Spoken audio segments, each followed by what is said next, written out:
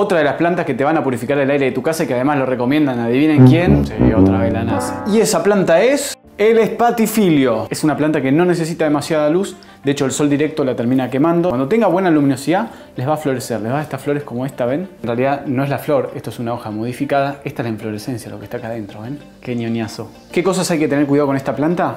Las corrientes de aire y el frío, eso no lo aguanta. El riego, en verano dos veces por semana más o menos. En invierno, una vez cada 10 días, una vez por semana. Eh, más o menos. Ah, más o menos. Cuando se está secando el sustrato, ahí vuelven a regar. Si no les está floreciendo, pueden ser por tres motivos. Falta de luz, falta de nutrientes o maceta chica. ¿Y por qué lo recomienda la NASA?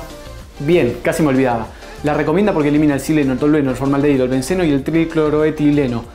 Me salió. Lo importante para hacerla más efectiva purificando el aire es que le limpien las hojas que acumulan polvo. Entonces agarran con un trapito húmedo y suavemente le van limpiando la superficie para que esté más brillante, más limpia y pueda absorber mejor todos los contaminantes que están en el aire. Adiós.